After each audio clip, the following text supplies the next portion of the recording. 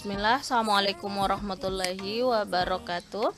Pada video kali ini kita akan membuat dan memanfaatkan name range pada Google Spreadsheet. Nah, pemanfaatan name range akan saya terapkan pada realisasi anggaran belanja ujian semester genap. Uh, Selanjutnya kita tambahkan sheet terlebih dahulu. Oke, okay. dan saya akan ganti sheetnya dengan nama tugas 5 oke okay. enter kemudian pada tugas 4 saya samakan judulnya realisasi anggaran belanja ujian semester genap oke okay. pada realisasi anggaran belanja tersebut ada pemasukan kemudian pengeluaran kemudian nah, dana taktis atau saldo akhir kemudian jumlah barang. Ini jumlah barang yang dibeli uh, pada pengeluaran. Nah uh, untuk melihat uh, jumlah pemasukan pada tugas 4 kita ingin kopikan pada tugas 5 kita bisa buat dengan cara sama dengan sum buka kurung kita buka sheet keempat untuk tugas keempat. Kemudian kita blok semua pemasukan. Tutup kurung enter. Jadi uh, ini sudah muncul uh, jumlah pemasukan yang ada di set uh, uh, keempat ada atau tugas keempat.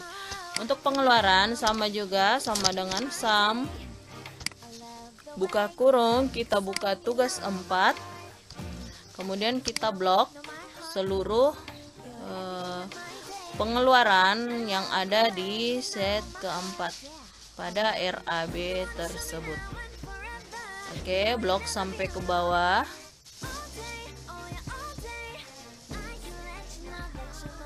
Oke, nah. Ini sudah terblok semua, kemudian tutup kurung, enter.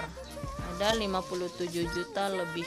Oke, sudah masuk. Kemudian dana taktis sama sama dengan sum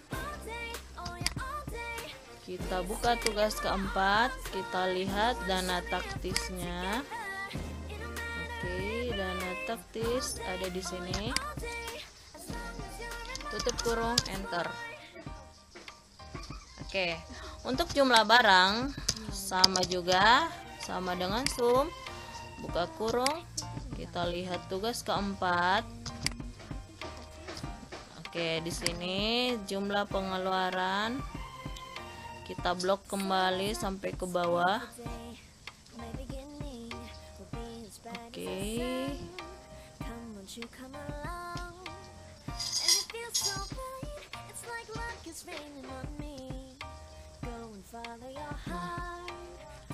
Stop. Kemudian tutup kurung enter. Oke okay, 275 nah eh, selain cara tersebut kita juga bisa memanfaatkan name range. Kita copy dulu untuk melihat caranya kemudian saya akan hapus uh, yang kita cari dengan uh, fungsi sum tadi. Kemudian kita akan membuat name range pada uh, tugas keempat. Nah cara membuat name range nya kita lihat untuk pemasukan. Kita blok semua pemasukan. Kemudian kita klik kanan. Kita pilih terapkan rentang bernama saya akan berikan nama pemasukan. Kemudian selesai. Nah di sini sudah ada rentang nama untuk pemasukan. Kita tambahkan rentang untuk pengeluaran. Kemudian saya hapus ini. Kemudian pilih rentang. Saya akan blok seluruh pengeluaran pada RAB.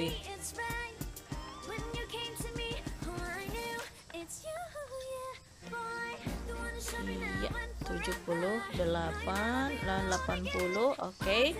Kemudian uh, di sini sudah uh, kita perhatikan dari F14 sampai F96 F96 ya.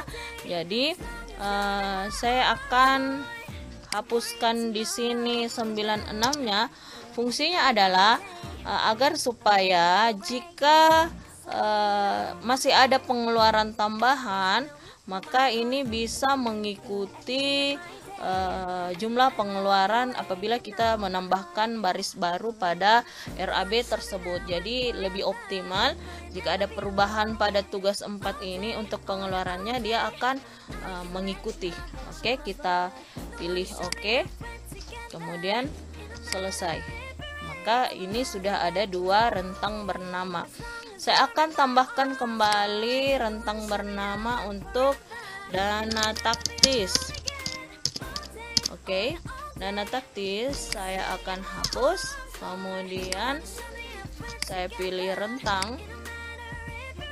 Kemudian saya klik pada dana taktis. Kemudian nah, oke. Selesai.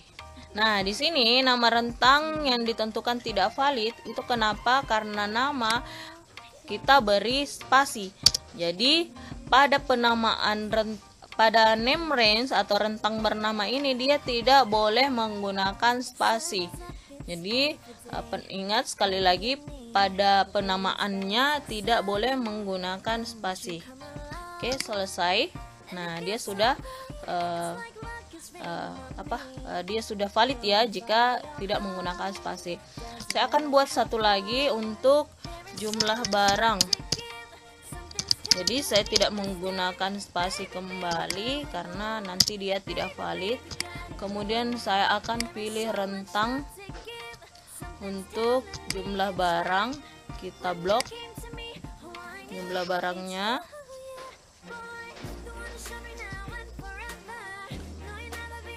Ngeblok sampai selesai. 80 oke. Okay. kemudian oke. Okay. nah ini juga saya akan optimalkan jika ada penambahan baris. Selesai. Oke okay, jadi sudah ada empat name range yang sudah kita buat. Kita masuk pada nah, sekarang kita akan uh, memanfaatkan name range yang sudah kita buat tadi. Jadi untuk melihat jumlah pemasukan pengeluaran dana taktis dan jumlah barang yang ada pada tugas 4 kita tidak usah menggunakan lagi fungsi sum uh, kemudian kita blok dari data awal sampai data akhir. Tapi uh, kita langsung saja sama dengan sum buka kurung.